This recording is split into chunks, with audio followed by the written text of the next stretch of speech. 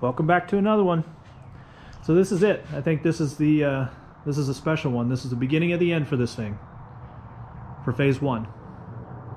And I think what we're gonna do, I have a bunch of issues uh, that I need to get resolved with the cab. The front end's pretty much done. I need to do a little bit of tweaking. Um, the rear end is completely finished. Uh, and now all we need to do is focus on the cab. We've got some interior work that needs to be done. We've got some wiring that needs to be done. I have to get the floors put in uh, on a more semi-permanent basis. Then we're gonna wrap it up with all the body work um, on the exterior. We're gonna get these patch panels cut out, put in, uh, more panels for the door. Gonna work on the rockers. One thing on both sides here that I need to address is these curves. That's gonna be a trick. Uh, but we're gonna we're gonna have to get all this stuff worked out. Same thing on the other side. We've got patch panels, rockers, uh, some door issues, uh, and then the back side here. We also got a bunch of these little holes that need to be filled up, welded, ground down. Uh, this stuff is kind of everywhere. I've got it all marked out. But yeah, this is it. This is the going to be the final push for the end of phase one. Uh, hopefully, once it's all painted and bodywork's done, culminating in a day out at the track. We're gonna go out, take this thing out for test and tune.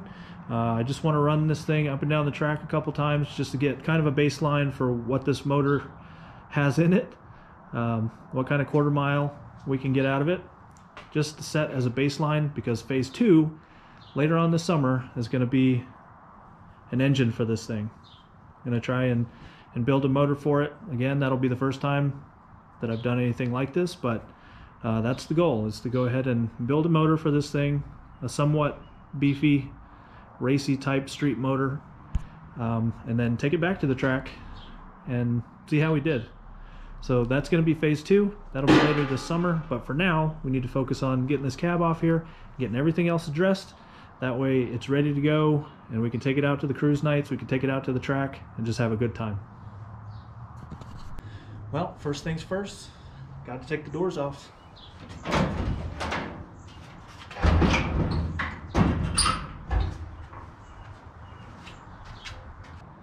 Got to take the steering column out.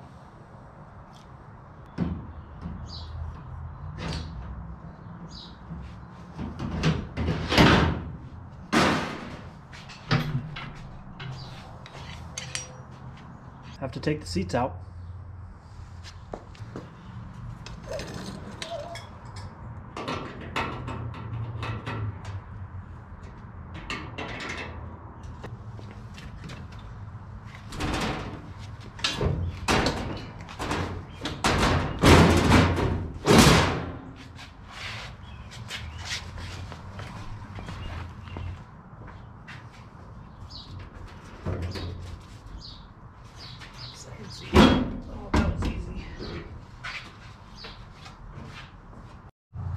Got to disconnect the throttle cable.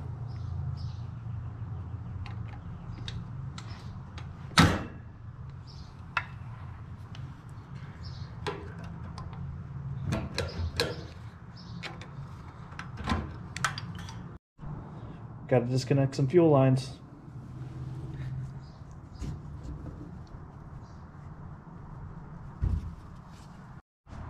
Well, there's the seats out of the cab. Uh, I think now we need to go ahead and get the battery out and get all this wiring addressed. Well, let's see if I can do this without shocking myself or burning up the truck. This is super sketchy. I'm not sure how any of you allowed me to get away with this for so long.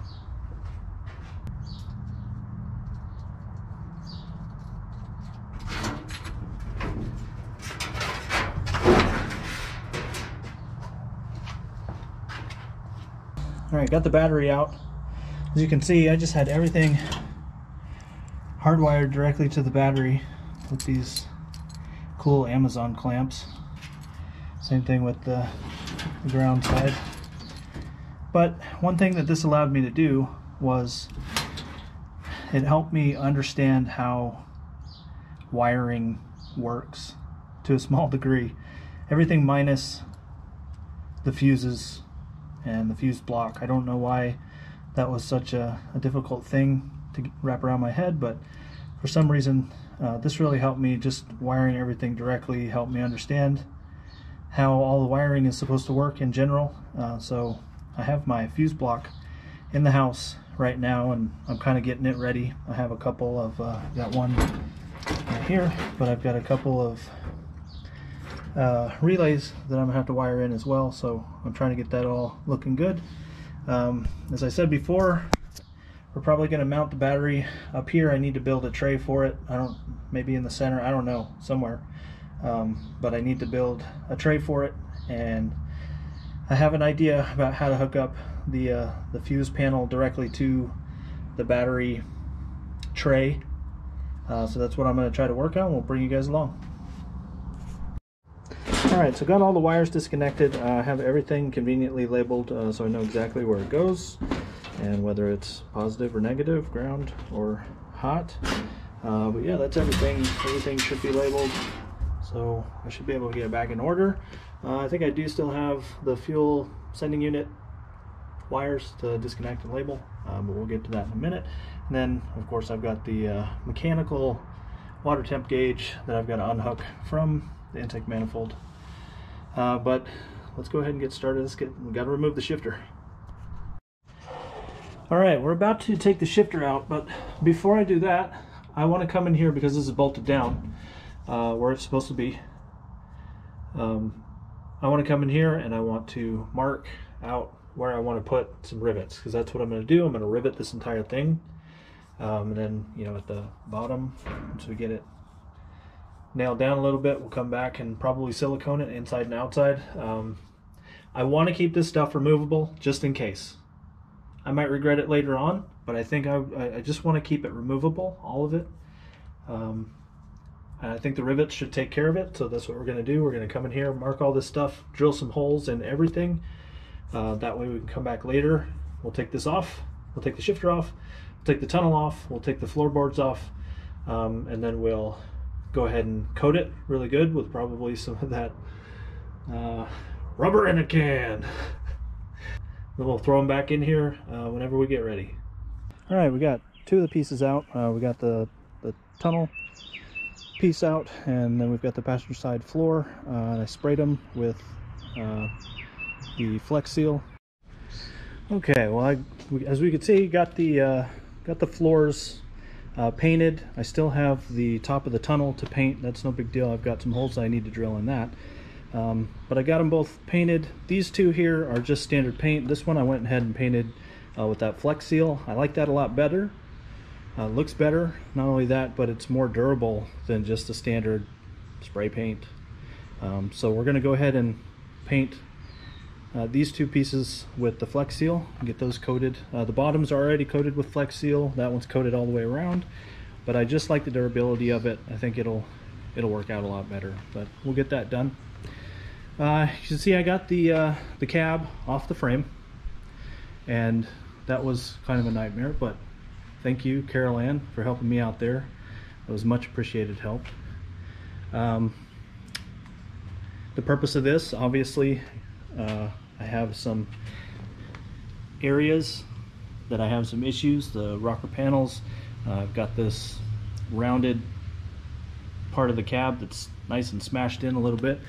Uh, and then obviously I've got the uh, issues here that I'm gonna have to cut out. And this is this is typical on the other side as well. It's pretty much exactly the same. Uh, so that's gonna be one of the next tricks that I do. Patch panels for the front, brand new rockers. We'll weld those in. We'll cut them along the edge there and then weld in new panels. Uh, and then on the back, that's gonna be kind of tricky. I don't know how I'm going to tackle that yet, but we'll try to get you guys in here. I'm going to try to break this up a little bit and show how I do each one of these and we'll just see how it goes. Um, I got the frame painted. There's probably some touch up that I need to do on the bottom, um, but for the most part it's painted, looks good. I think that's going to be pretty much the entire interior is done uh, for the most part. Got a little bit of touch up and cleanup to do, but pretty much everything's done. We'll have to wire everything up to the fuse panel. I got that ready to wire in. Uh, we'll walk around to the other side and just show that you know I've got some bodywork issues that need to be done. Same thing, patch panel here, rockers. This is bent pretty bad. Uh, and then the back, obviously you can tell it's it's dented in pretty bad. So we'll make a cut back here somewhere and try to do some bending and, and whatnot. But definitely have some bodywork issues that need to be taken care of. Um, it's got some things going on, some holes that need to be filled. The top isn't too bad. It's rusted, but we'll get there. Just got some holes and things to do. And then obviously we'll have to finish the patch panels on the doors. That can be done relatively easy. This other door, the one that's primered already, is in pretty good shape. I'm gonna have to do some some Bondo work on there, but shouldn't have to weld in any patch panels. Um, again, we're not trying to make this show quality. It's just what it is, an old truck. So then uh, I got a few things that I want to take care of on the frame. Obviously, we're gonna have to paint the frame. Um, I still have some welding that I need to get done on the bottom here, but that's no big deal. Uh, some grinding that needs to be done and whatnot. Uh, but one big issue that I have that I'm gonna need to fix is, I guess these horns, you know, I opted to, to put the axle on the front uh, instead of underneath. And in hindsight, you know, hindsight's 2020, whatever. But as you can see here, uh, this horn is, I've only got about a quarter inch of clearance. So when I'm driving around and this thing, you know, hits a pothole or whatever, these horns are hitting that, that tie rod. So I need to go ahead and come in here and cut these horns back and give it some more clearance. Probably cut half inch, maybe even three quarters of an inch out of both sides here and just kind of make them straight. They're, gonna, they're not going to be rounded, they're going to be straight. And it's going to be kind of tricky to, to do that, but that's what I've got to do uh, to make some clearance for these tie rods. I think that's going to give it a better feel on the suspension because right now it's really stiff. It's really a rough ride. It's like a go-kart. But I think that's going to help out. Uh, another thing that I'm kind of looking into afterwards would be uh, shock mounts and how I would do some sort of front uh, shock suspension. I don't know if that's even necessary. I think I'd like to get these these horns cut first and see how it rides, but you know, we'll just see when we get there. Then I'd like to take the calipers off, get those painted. Uh, you know, where I'm at right now with the cab off, I'm looking to finish everything, just get it completely finished, get it done, and uh, yeah, put it. I don't I don't want to have to take this off again, so next time we get it on there, that's going to be it. But I got a lot to do, so let's get into it. Well, we've got the, the window taped off. We've got the front end just kind of taped off a little bit so that we can keep the firewall area black. Um, but I've got it ground down just a little bit, uh, down to bare metal. And there's some spots, you know, I'll have to address this with some uh, Bondo or whatever. Uh, but I want to go ahead and paint this area black around here. And then we'll go ahead, once we get it, I think we're going to primer this whole thing first because it's in pretty good shape. Um, but then we'll, you know, when we come back, we'll paint this area black, we'll tape it off, mask this all off. That way we'll be able to, to paint this blue when we're ready. Uh, but we're gonna go ahead and get it all primered right now. We're just gonna work in sections, um, you know, probably work up a little bit and then down and, you know, I still gotta do the rocker panels and the patch panels and all that stuff, but little wins at a time. I think this is what we're gonna do now. All right, so we got this area ground down, sanded down, whatever. Um, got it primered, and you can see that there's there's some pits and stuff. I think that's kind of what the primer part is for. You can see, don't know if you can see that really well. There's some areas here that need to be addressed, and I think I feel I don't know anything about this bodywork stuff, but I feel like that's kind of what the primer part is all about, is to draw out some of the areas that need some work. So that shouldn't be a big deal. We can go ahead and take care of that. But I need to keep moving forward. So I think what I'm gonna work on now is this area here, this panel. I don't know what it is. Anyway, this panel. So I need to go ahead and cut this out, address this, get that welded back in. Uh, Go ahead and cut this out and put a patch panel in there. Then we're gonna work back and do the rockers, the rocker panels here. I don't know if I could save that or if I should just go ahead and cut it out. Probably be the best policy there. Uh, and then, you know, I got a big issue here. Been kind of racking my brain on how I'm gonna do that, but I think I have a plan. I think I have a bit of a plan. You can see this has like a uh, little ridge right here. I'm not sure if I'm gonna be able to keep that. I don't think so but uh, I do have a plan on how to get this done. It's going to take a little bit of work. So, but we're going to start up front and then we're going to work our way back. So let's get started. All right, so we're going to go ahead and try and cut up this side here. There's a little bit of Bondo that I had to do a repair, but we're going to try to cut up this side a little bit and then come across and just get all this stuff out of here.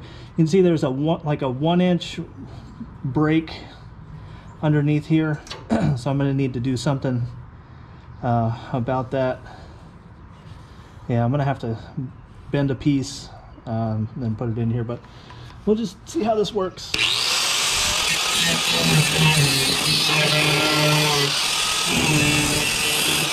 so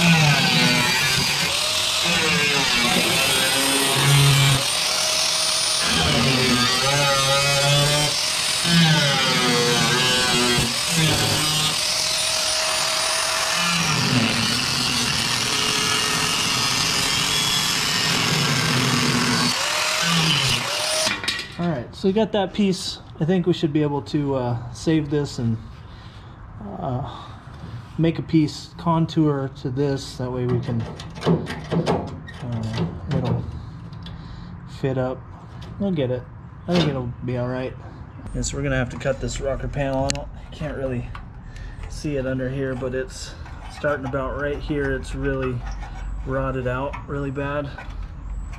And then the further back here you get, the worse it is. And then we got an area up here that's just completely rotted out. So I'm gonna have to replace, think we're gonna cut it about right here. We'll keep that, I think that's to help the door set in place. Uh, but we're gonna go ahead and I think cut from here down and around right on this bend here and then we'll form it a little bit we'll form a piece and go up under but that should be fairly easy this should be all fairly easy so gonna, let's go ahead and cut a piece. We'll put a we'll break it a little bit and try to form it and get that contour. All right so we got that area cut out. Uh, still got a little bit more cutting to do disregard that line. Um, but I got my piece made here and I've got it. I got a piece broke on the bottom about three quarters of an inch broke on the bottom. Um, and this should fit right in here still need to contour this bottom area a little bit just to kind of give it that curve. Uh, but then we'll go ahead and cut out according to this panel. Then we'll go ahead and patch it in. Got a little bit of a gap there. That shouldn't be too big of a deal. I should be able to knock it in uh, on the inside here. Um, and then got a little tiny gap there but it really shouldn't be any issue. You can go ahead and fill that with some MIG uh, and then dress it. All right so we got our piece cut out uh, got it put in. I got a couple gaps here. That's no big deal. Right there you know we'll knock these in and get it welded. Uh, yeah these gaps are no big deal. Ain't no step for a stepper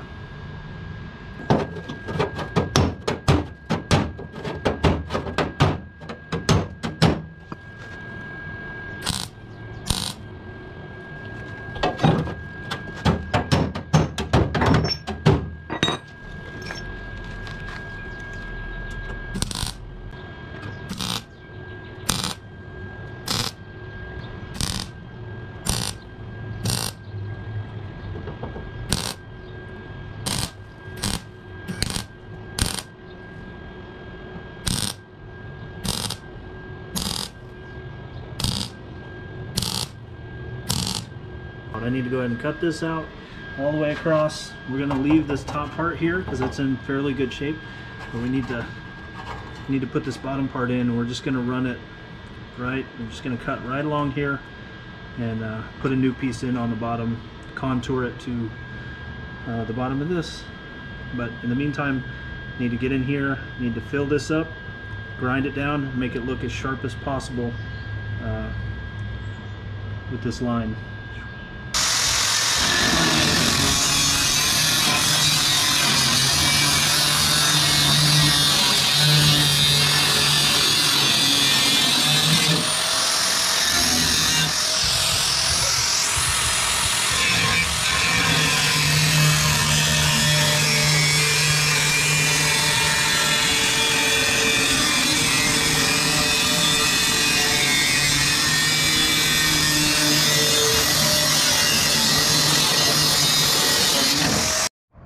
All right, got my rocker piece made and kind of tacked in there.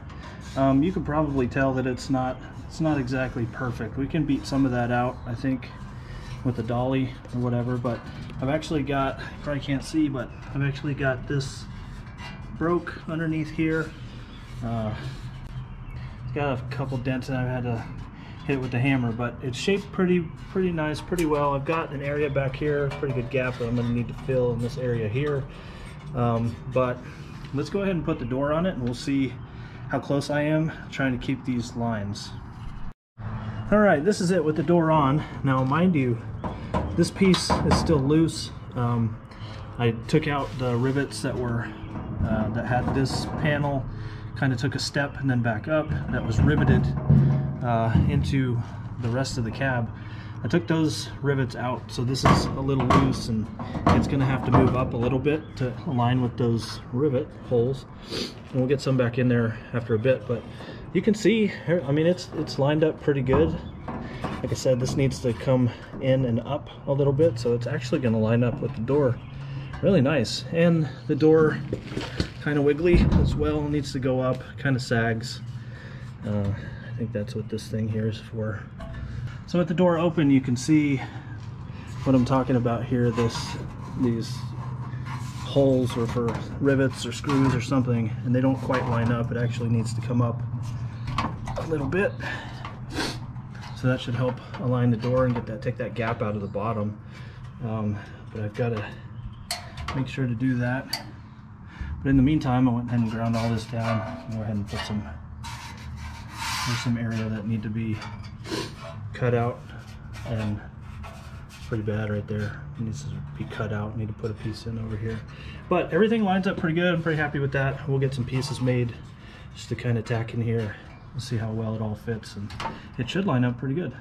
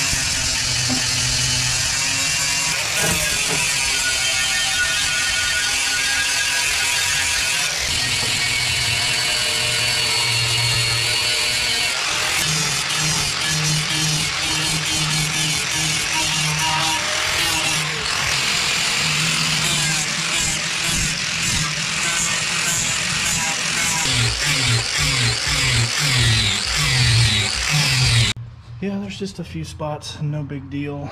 Um, actually gonna come out pretty good, I think. I have not gotten to do any Bondo work down there, which is gonna be the most significant area by far, but should be relatively easy. It's manageable, I think. And I've got most of the body work, the Bondo stuff done um, around the window. This is where I'm gonna try to focus on painting, getting finished, uh, just so I can get some stuff done instead of doing the whole thing like I should all at once. But this whole thing is wrong from the get-go, so I'm not too worried about doing it right. And I've been messing with these drip rails and they were gnarly. I should have got a really good picture of them before, but they uh, they were pretty bad. But I was able to, I mean, you can see a little bit of bow in them. But I think compared to what it was, it's a lot better way, way, way better. I think it's going to look a little bit better. You'll be able to see some of the dents and whatnot, but same thing on this side. The drip rails were really bad right down here. And then uh, you can see right here, I kind of scuffed up some of that Bondo. I'll take care of that, but it's a little gnarled up right there, but I think it'll work. You know, still show a few things, give it some character, I guess. But all the way down, okay, been working on this probably the past 15 minutes, and I think it came out pretty good. Again, I don't know what I'm doing. I'm just kind of winging it. But yeah, I'll come back, sand it down after I get it primered, and uh, look for any defects, anything that we need to fix, and uh, then I'll go ahead and paint it blue, prep it, and paint it blue. But I was just kind of standing here and I was looking at it, just kind of taking it all in, how far I've come and everything. You can see the doors back there; those are done. But I was just there's so much more to go. Um, I've only got maybe I don't know, I'd say 15% of this whole cab done, and you know it's just taken so long and so much effort to get just to this point. Um, it's overwhelming. You know, I've never, this is something that I've never done before.